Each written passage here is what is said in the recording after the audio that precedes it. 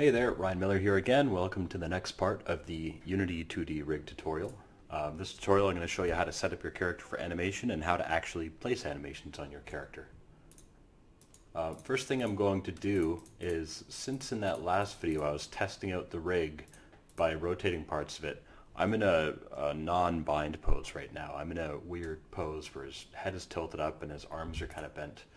So I'm just going to quickly select every single object in him, making sure that I expand everything so I'm not missing stuff like the, the hands that I almost missed just now. Um, and I'm going to change the rotations back to zero. You're going to see the character is going to pop back into place. Remember that the primary way we want to animate this character is by rotating joints.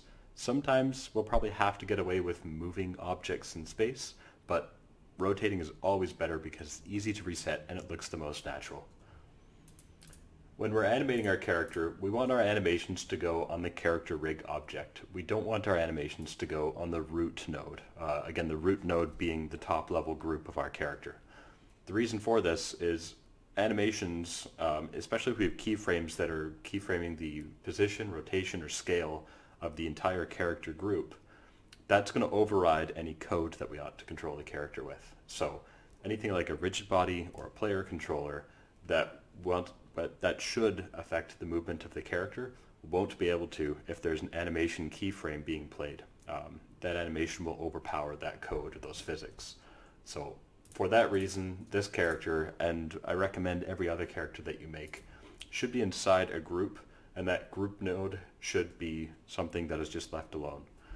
The other advantage of working this way is if I wanted to set up this character rig so that I can pull another character in, this character rig would have its own animation. So I can just replace this. I can put a new character under this group, get rid of the current character, and everything stays hooked up just fine. So to make this animatable, I'm going to add an animator to the second level object. So this is an object that all the joints and all the objects are still parented underneath, but not the root level character. Um, and watch be careful that I'm adding an animator and not an animation node. Um, animation is the legacy animation system in Unity, which is fine, it just doesn't handle sprite animation. An animator handles sprite animation and our cool animator blend tree that we can use. So I'm going to add an animator, and I'm going to then press uh, Window Animation or Control 6 to bring up our animation timeline editor. I'm going to resize my window a little bit just so that I can see both of these at once. So I've got my character rig selected with the animator object. I've got my animation window open. So now I'm just going to click in this empty area here and say create new clip. I'm going to call it Cleric Idle, replace the one that I already have here. Um, I like to name my animations with my character name first because once you have a bigger project going and you've got several characters, maybe you've got a cleric, you've got a uh, hunter, you've got a dragon enemy or something, um, then you don't have five or four or three or a million separate idle animations that are all called idle.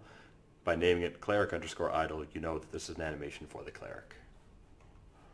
Cool, so once I've got this, I'm just about ready to animate. Watch these buttons up here. See how the play, pause, and uh, step forward one frame buttons are kind of a light gray? If I move around in the timeline at all uh, with the object selected and with an animation clip set, you'll see these turn red uh, that means I'm in recording mode, so now I am laying down keyframes on this object. If I click any object that is a child of my animation object, it will stay in animation mode because animation applies to everything on or under that animation object I made. If I click something like the camera or the character root node, which is outside of the animator group, you'll see this pops back into regular mode. So I'm not animating, I'm not keyframing anymore. To enter that stage again, I just need to have that animator selected and touch anything in the timeline. You'll see it's popped right back to that animation mode. So when I start making the animation for this idle pose, I'm going to want to make sure everything is keyframed.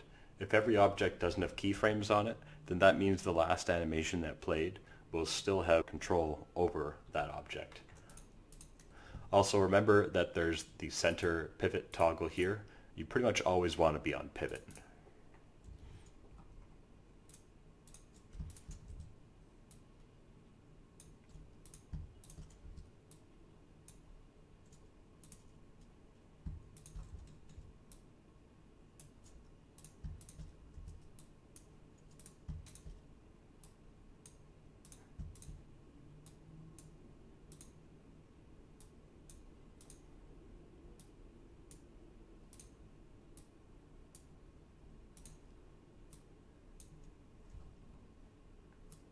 Okay, so I've got one set of keyframes here.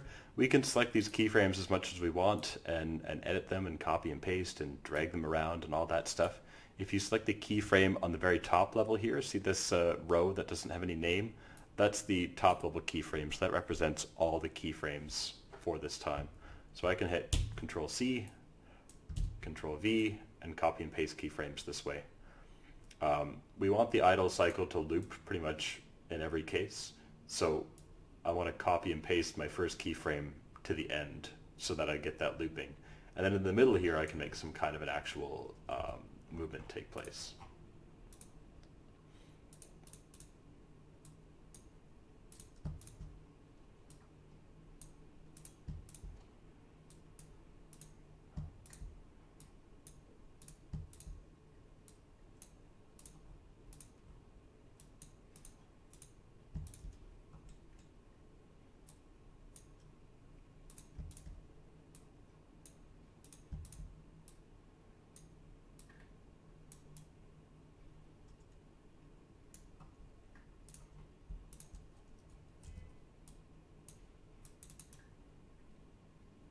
One of the hardest things that you'll you'll find when you're trying to animate a character in this fashion, since there is no inverse kinematics, there's no IK controls, you are going to have a harder time keying the legs to make them stay grounded when they bend. Um, just take your time. It's not impossible, it's just a little bit annoying.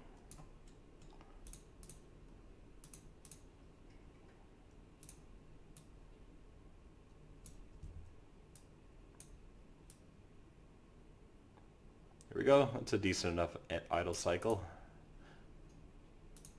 If I want to create another animation, all I have to do is create new clip, and then we'll make another one. So it clears everything out of here, and then we can go and start keying things again.